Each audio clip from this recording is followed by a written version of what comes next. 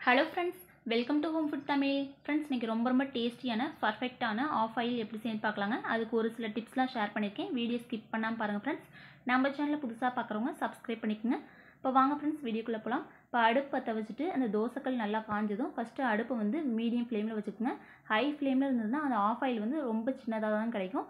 Medium ஃப்ளேமில் இருந்தால் கரெக்டான அனல் பட்டு அந்த முட்டை எல்லாமே பரவி கொஞ்சம் பெரிய ஆஃப் ஆயிலாக கிடைக்கும்.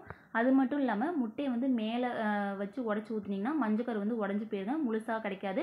இப்போ ஆஃப் ஆயில் பார்த்தீங்கன்னா முட்டை உடச்சி ஊற்றும்போது தோசைக்கலுக்கு கொஞ்சம் மேலே தான் கை டிஸ்டன்ஸ் இருக்கணும். ரொம்ப வந்து மேலாப்பில் வச்சு முட்டையை வந்து உடச்சி ஊற்றக்கூடாதுங்க நம்ம வந்து மீடியம் ஃப்ளேமில் அடுப்பு வச்சுருக்கிறதுனால அந்தளவுக்கு கையில் வந்து ஹீட்டும் படவே படாது.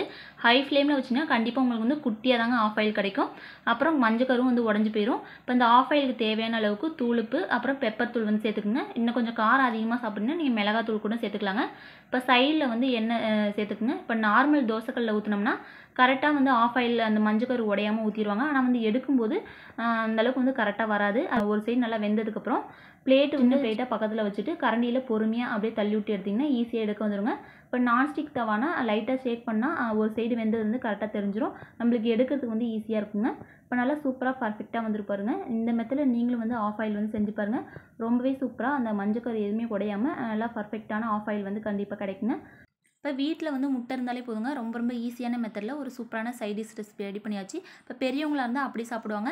இதே சின்ன பசங்களுக்கு வந்து ரெண்டு பக்கம் வேக வச்சு கொடுங்க. நிறைய வெரைட்டி ரைஸ் கூடலாம் வந்து ரெண்டு பக்கம் இந்த முட்டையை வேக வச்சுட்டா ஈஸியான சைடிஷ் ரெசிபி வந்து செஞ்சு கொடுத்துடலாங்க குழந்தைங்களுக்கு.